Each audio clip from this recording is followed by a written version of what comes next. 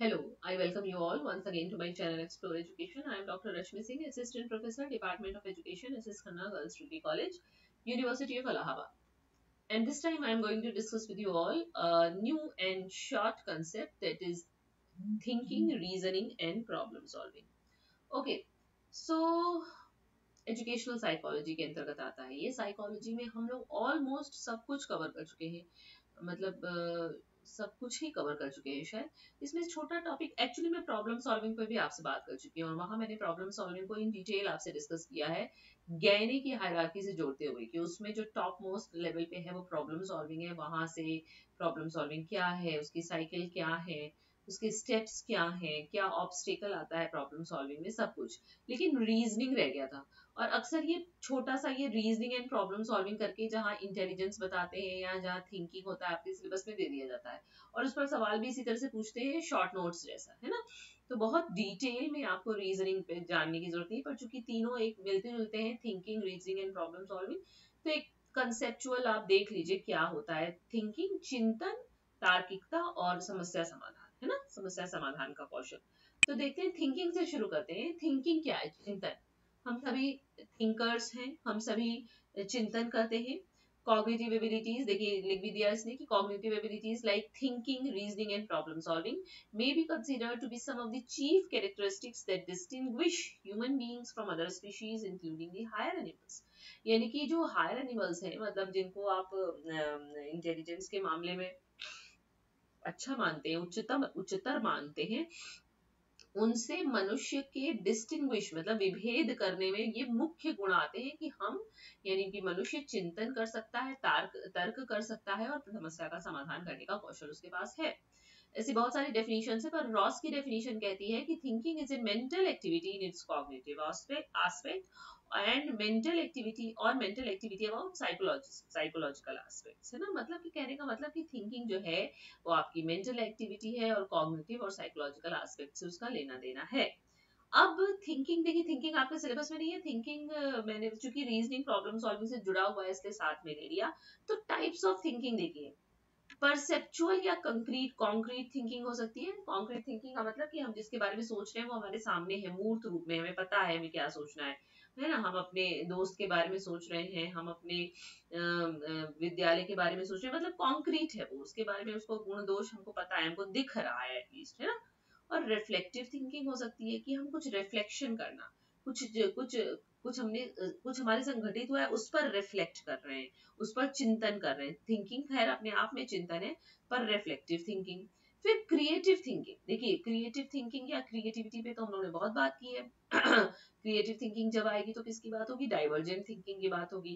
Divergent thinking की बात होगी का मतलब कि एक प्रॉब्लम के कितने ज़्यादा से ज़्यादा हम सोल्यूशन निकाल सकते हैं तो ही हम क्रिएटिव थिंकिंग या क्रिएटिव थिंकर हो सकते हैं। और क्रिटिकल थिंकिंग यानी कि हम बस ऐसे ही नहीं सोच रहे, हम क्रिटिकली सोच रहे हैं।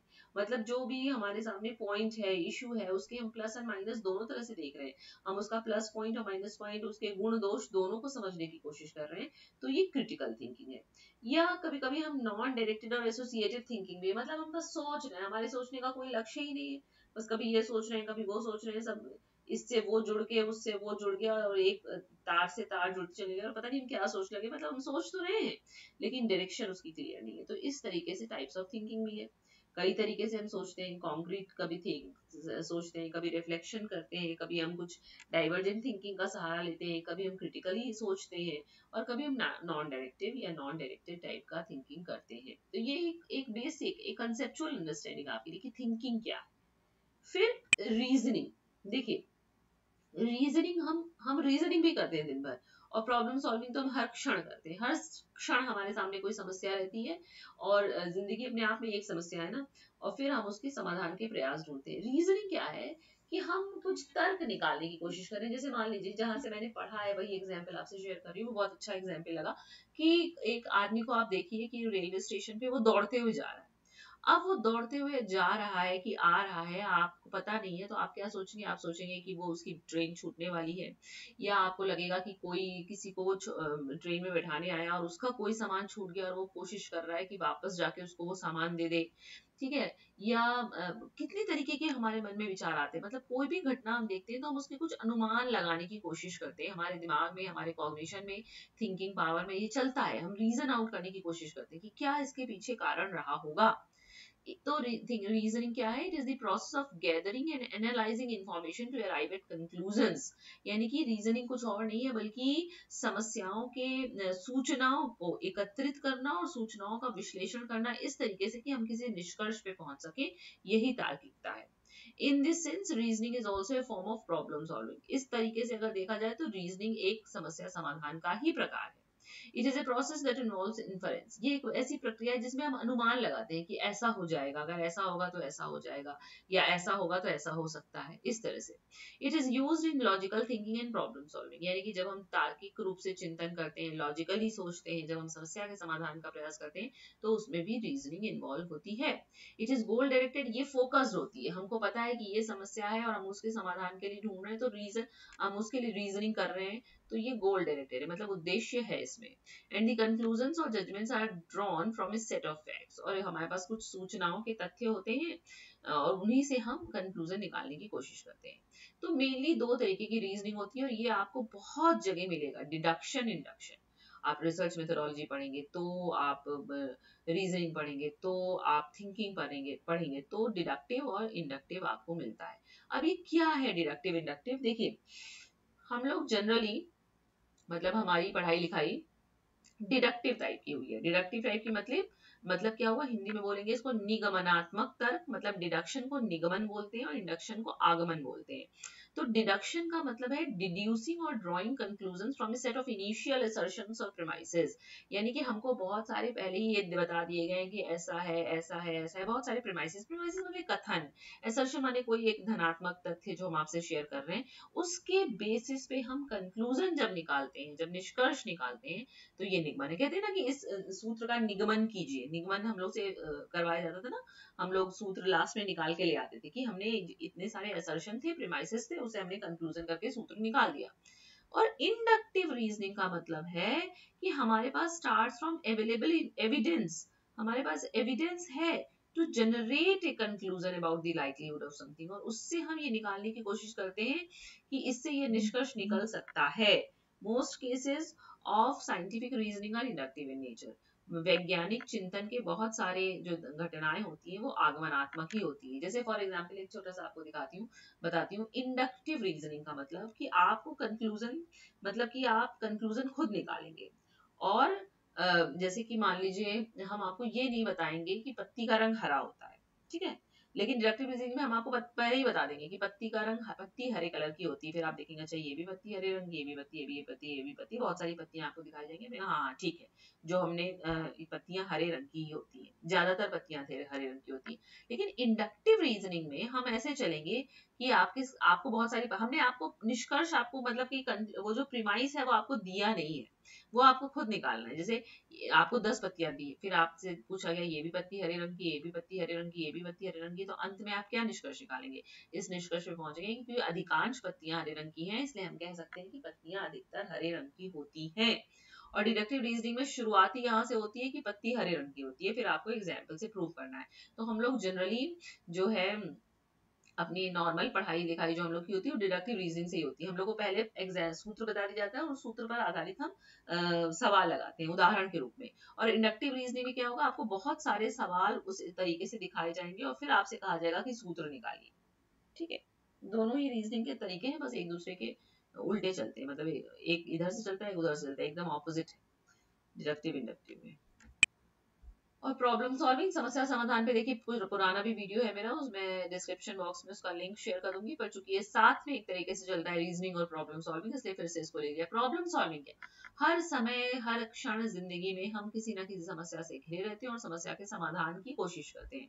In the case of solving any type of problem our thinking becomes directed and focused and we try to use all the resources हम क्या करते हैं? जब हम समस्या से घिर जाते हैं तो हमारे पास जितने संसाधन होते हैं, आंतरिक संसाधन के रूप में हमारा दिमाग मस्तिष्क और बाह्य संसाधन के रूप में हमें जो भी सहायता मिल सकती है, उनसे हम चाहते हैं कि हम राइट और अप्रोप्रिएट डिसीज़न ले पाए।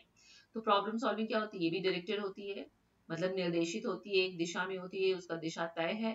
Thinking focus towards dealing with specific problem और यहाँ पे हम एक विशिष्ट समस्या के समाधान के उपाय सोचते हैं।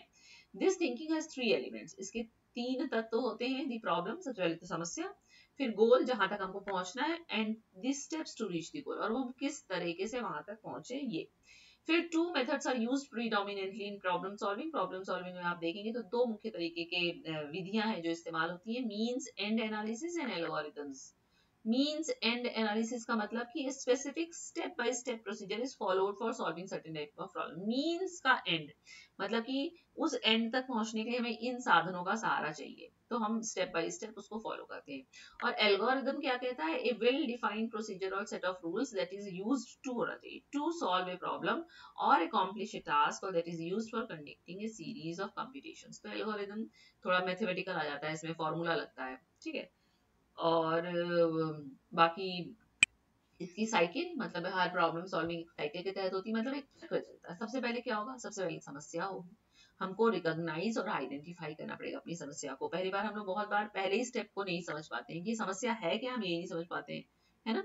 कई बार हम लोग को लगता है नहीं कि मूड बहुत खराब है, समझ में नहीं आ रहा है क्यों। कुछ अच्छा नहीं लग रहा है, समझ में नहीं, समझ में नहीं आ रहा है क्यों? तो पहले आइडेंटिफाई तो करो कि समस्या क्यों अच्छा नहीं लग रहा है, तब तो आप उसके समाधान का प्रयास करेंगे। फिर जब हमको समस्या पता चल गई, पता चल जाएगी, फिर define and represent the problem mentally फिर हम मनी मन सोचेंगे अच्छा ये प्रॉब्लम है और इस तरीके से इसका मतलब हमने डिफाइन कर लिया अपनी प्रॉब्लम को। फिर डेवलप ए सोल्यूशन स्ट्रेटेजी फिर हम एक सोल्यूशन की स्ट्रेटेजी डेवलप करेंगे। अच्छा ऐसा करेंगे तो ऐसा हो सकता है, इस तरह से ये सॉल्व हो सकता है, ऐसे हम अपने मन में एक सोल्यूशन की स्ट्रेटेजी डेवलप करेंगे। फिर हम अपनी जो भी ज्ञान है हमारा, उसको उस प्रॉब्लम के इर्द गिर्द लगाएँगे कि अच्छा ये सोल्यूशन काम करेगा कि ये सोल्यूशन मतलब बहुत सारे सोल्यूशन हम लोग सोचते हैं ना दिमाग में। फिर allocate mental and physical resources for solving the problem फिर हमारे पास जितना मेंटल और फ़िज़िकल रिसोर्स अवेलेबल होता है, उससे हम सॉल्यूशन मतलब जो हमने सोल्यूशन स्ट्रेटेजी निकाल ली है, उस पर काम करेंगे। फिर मॉनिटर हिज और her progress towards the goal और फिर हम बीच बीच में देखते भी जाएँगे कि हम गोल की तरफ़ पहुँच रहे हैं कि नहीं, हमारे जो कदम उठा रहे हैं, वो सही पड़ रहे हैं कि नहीं, ये सब कुछ। और लास्ट में evaluate the solution for accuracy और लास्ट में हम जब सॉल्यूशन निकाल लेंगे तो हम उसका मूल्यांकन करेंगे कितना एक्यूरेटली हम सॉल्यूशन तक पहुँच पाए। देखिए, ये भाषा आपको नहीं मिलेगी, पर मिलती जुलती भाषा आपको मिलेगी, चाहे जहाँ से आप प्रॉब्लम सॉल्विंग सर्च कर लीजिए। सबसे पहले रिकॉग्निशन या आपको प्रॉब्लम को चिन्हित करना, फिर प्रॉब्लम को परिभाषित करना, फिर प्रॉब्लम के लिए एक सोल्यूशन खोजना, ये एक कह रहे हैं। आप ये कह सकते हैं, बहुत सारे सोल्यूशन पे आप काम करेंगे प्लान बी भी रखेंगे अपने पास। फिर हम उस ज्ञान के मतलब अपनी समस्या के इर्द गिर्द अपना ज्ञान लगाएँगे। और उसके बाद जितना हमारे पास मेंटल फ़िज़िकल रिसोर्सेज होगा, उसको लगाएँगे प्रॉब्लम सॉल्व करने के लिए, उसको एलोकेट करेंगे, दिशा देंगे, संगठित करेंगे और फिर हम अपनी प्रोग्रेस को मॉनिटर करेंगे कि हम सही जा रहे हैं कि नहीं और लास्ट में हम मूल्यांकन करके बताएँगे कि हमने जो प्रॉब्लम का सोल्यूशन निकाला, वो कितना एक्यूरेट था। तो आपसे, खास तौर से बी ए बी एड के लेवल पे जब पूछा जाएगा रीजनिंग और प्रॉब्लम सॉल्विंग तो शॉर्ट नोट्स ही पूछा जाएगा। तो रीजनिंग के टाइप्स बता दीजिए आप थिंकिंग के टाइप्स बता दीजिए प्रॉब्लम सॉल्विंग के बारे में बता दीजिए प्रॉब्लम सॉल्विंग स्किल बता दीजिए साइकिल बता दीजिए, है ना? तो इतना बहुत है और लॉन्ग में पूछेंगे तो आप देखिए गहने की हायरार्की से जोड़ते हुए चलिए कि जो एट कंडीशन गहने ने बताई है लर्निंग की, उसमें उच्चतम है। S R learning stimulus response learning से लेते हुए प्रॉब्लम सॉल्विंग जो है वो थिंकिंग की उच्चतम दशा है अकॉर्डिंग टू गहने ओके तो एक छोटा सा टॉपिक था बट uh, आपको पता होना चाहिए इंटरेस्टिंग है टेक्निकल है, इसमें टेक्निकल टर्म्स का यूसेज है तो आप इसको जानिए। So in this way I have completed this one too and thank you and don't forget to like and subscribe my channel explore education I have done from my side